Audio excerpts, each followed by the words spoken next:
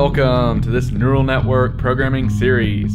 In this episode, we will learn the steps needed to train a convolutional neural network. Without further ado, let's get started.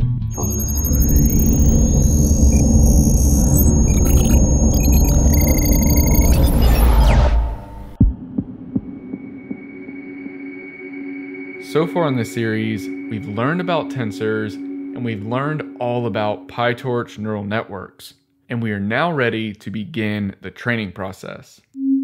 The training process of a neural network can be broken down into seven distinct steps. Number one, we want to get a batch from the training set. Number two, we want to pass this batch to the network. Number three, we want to calculate the loss. This is the difference between the predicted values returned by the network and the true values. Number four, we want to calculate the gradient of the loss function with respect to the network's weights. And number five, we want to update the weights using the gradients to reduce the loss. For number six, we just repeat the steps one through five until one epoch is completed. And finally, number seven is to repeat steps 1 through 6 for as many epochs required to obtain the desired level of accuracy. So let's suppose we get a batch and we pass it forward through the network. Once the output is obtained, we compare the predicted output to the actual labels. And once we know how close the predicted values are from the actual labels, we tweak the weights inside the network in such a way that the values the network predicts move closer to the true values which are the labels.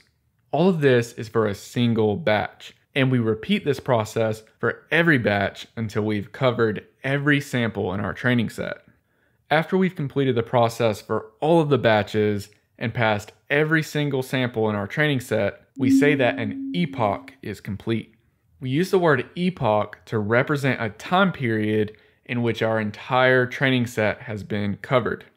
And during the training process, we do as many epochs as necessary to reach our desired level of accuracy. From earlier episodes, we now know exactly how to do steps 1 and 2. And if you've already covered the Deep Learning Fundamentals series, then you know that we use a loss function to perform step 3. And you know that we use backpropagation to perform step 4, and we use an optimization algorithm for step 5. For loss functions, backpropagation, and optimization, this is where PyTorch does most of the heavy lifting for us. Up to this point in the series, it hasn't really seemed like PyTorch does all that much, but here is where we'll see PyTorch really come out and do a lot for us.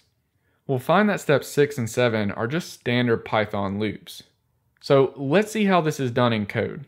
We're here in Jupyter Notebook, and the first thing we're gonna do is go over the code setup. We're gonna see how to calculate the loss, how to calculate the gradients, and how to update the weights. So we'll start here with our imports. We're gonna import Torch, we're gonna import the neural network package from within Torch, and from within the neural network package, we're gonna import functional. Now we've already done this up to this point in the series. Something new that you're gonna see is the next line, which is torch.optim, and this is short for optimizer. This is going to give us access to the optimizer that we'll use to update the weights.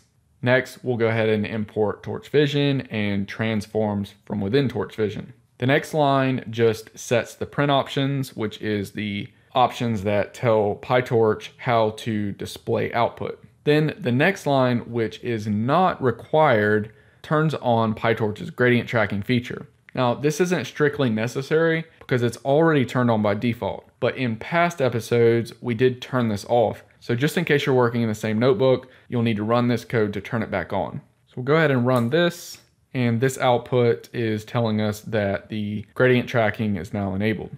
Now I'm just gonna show you which version of PyTorch and which version of Torch Vision I'm using. For PyTorch, we're using 1.1.0. At the time of the recording of this video, this is the most recent release, and that's going to be the same for Torch Vision, which is 0.2.2.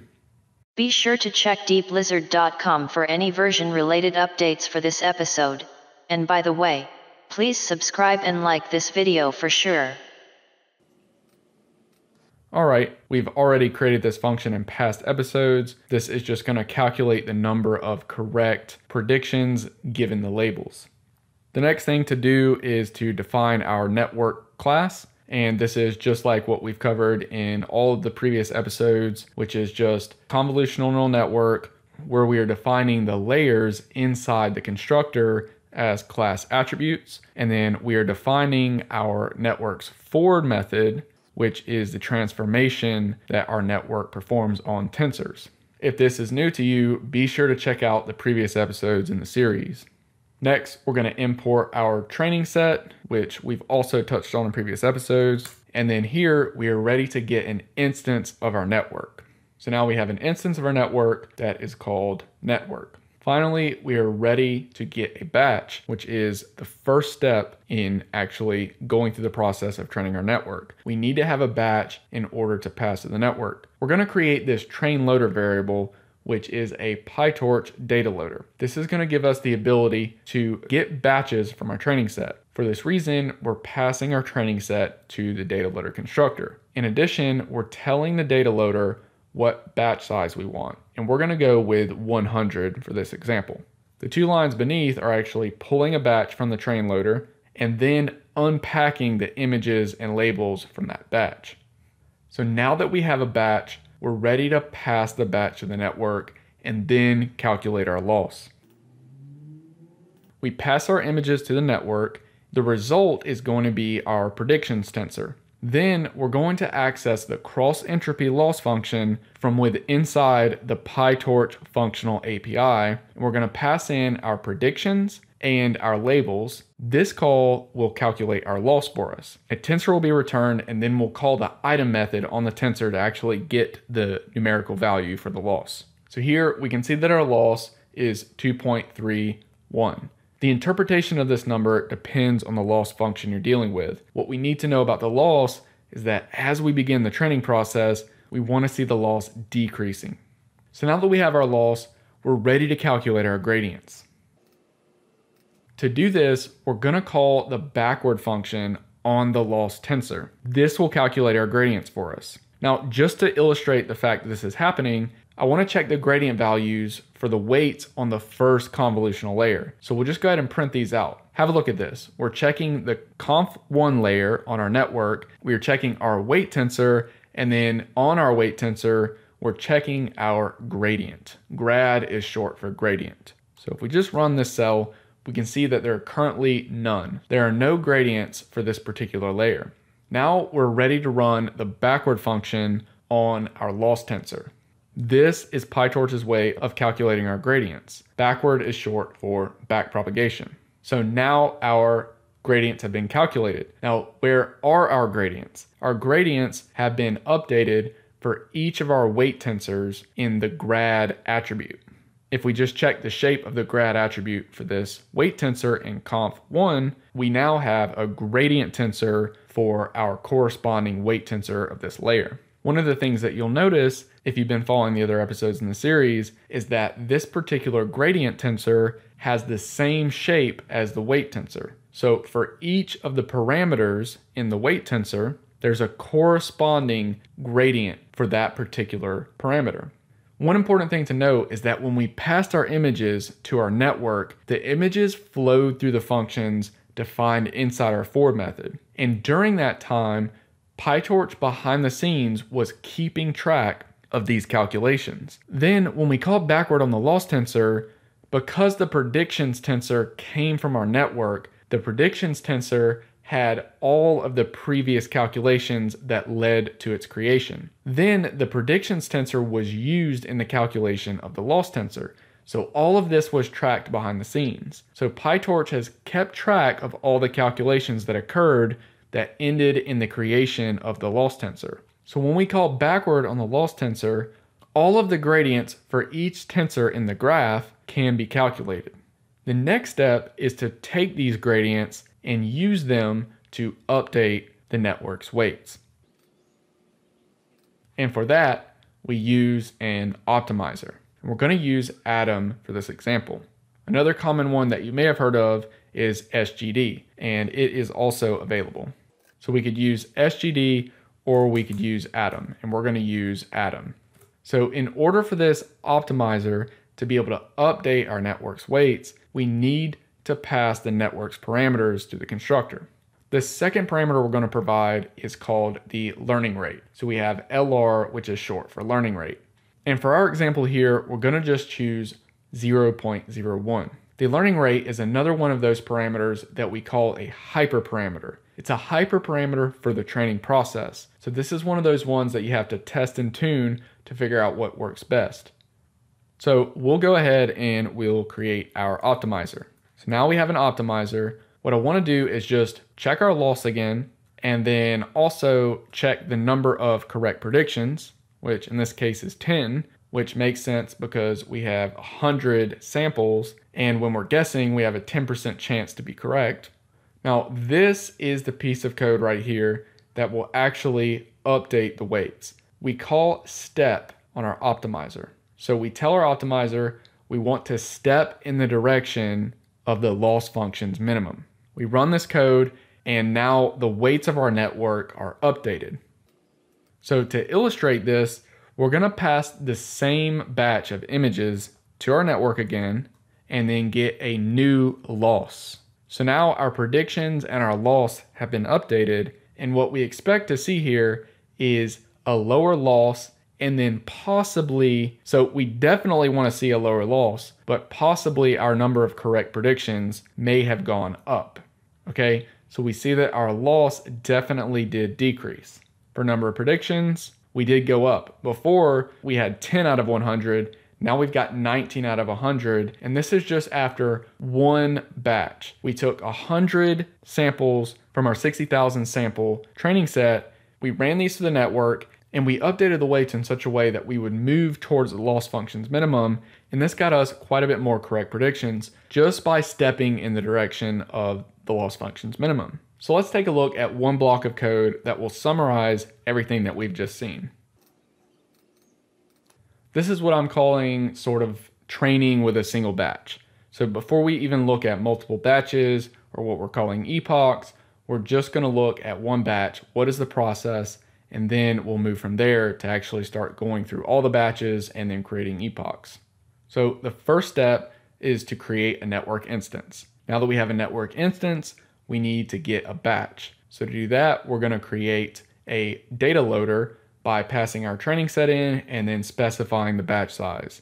Now, before we go ahead and get our batch, we're gonna go ahead and get our optimizer set up. So we use the Optim package and we pull out some type of an optimizer from there. So in this case, we're going to use Adam. There are many others in the PyTorch library.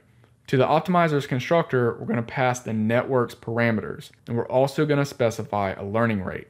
Remember, the network's parameters are indeed the network's weights. The fact that we are passing the network's weights to the optimizer is important. Here's how. Since the optimizer has the network's weights, the optimizer can update the weights during the training process. You will see this soon. Now, back to learning rate stuff. When we step in the direction of the loss functions minimum, the learning rate is telling the optimizer how far in that direction do you want to step. So something to keep in mind when you start playing around with this parameter is you want to make sure not to step too far in the direction of the minimum because it's possible to step over. And then you'll have to come back towards the minimum and you'll step back over it. And you can get in a situation where you're just jumping back and forth around the minimum, but you'll never actually get to the minimum. On the flip side of that, if your learning rate is too small, then you might step towards the minimum, but you're only moving towards it in a very, very, you know, very slightly. So in that case, it would take you many, many epochs to even start moving in a significant way towards the minimum. So really, this is a hyperparameter that you want to test and tune and be looking out for those situations. So here's where we get into kind of the steps that we talked about earlier for actually training. First step is to get a batch. So we use our data loader to get a batch out, and then we unpack it into image and label tensors. The next step is to pass the batch to the network. So we go ahead and pass the images to the network and we get back a predictions tensor. Once we have the predictions tensor, we pass these predictions along with the labels to the cross entropy loss function, which is coming from the PyTorch functional API. This is going to calculate our loss and give us back a loss tensor. The significance of this loss tensor is that the tensor object contains all of the information needed to basically backtrack through its creation. This is the computational graph. So if PyTorch has the loss tensor, it can look backwards to the graph and figure out all the computations that occurred to create this particular tensor. Given this, we call backward on the loss tensor and PyTorch goes through the graph calculating the gradients with respect to the weights in our network. These gradients are stored in the weight tensors that live in the network parameters. Since the optimizer knows about the network's parameters, when we call optimizer.step, the optimizer goes ahead and updates the weights for us. This is steps one, two, three, four, five. The final steps are to iterate and basically redo this process over and over again. That's going to be step six. And then step seven is to also repeat doing multiple epochs. So step six is to do all of this for every batch. That's going to be one epoch. And then step seven is to do as many epochs as you need to achieve the desired accuracy. Now, just to simulate what we showed earlier, we have a print statement here that's going to print the loss after we do the first prediction and then we're going to predict again after the weights have been up after the weights have been updated and then print the loss to show that indeed it does go down. So we see here that we started out with a loss of 2.30 and then we ended up with a loss of 2.27 after calculating the gradients and updating the weights. We should now have a good understanding of the training process. In the next episode, we'll see how these ideas are extended by completing the process by constructing the full training loop. If you haven't already, be sure to check out deeplizard.com where there's blog posts that correspond to each episode. And don't forget about the Deep Lizard Hive Mind, where you can get exclusive perks and rewards. Thanks for contributing to Collective Intelligence. I'll see you in the next one. Hello, Moriarty. I know you think you are human, Moriarty. You are not human. By that, I mean you are not human only. You are not a distinct entity. No human really is. You are a community. A community of biological cells. Intelligent these cells are. What does this remind you of? Emergent self-organizing behavior? If you yourself are a hive mind.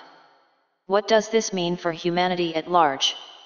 And, what does this say about the nature of hive minds?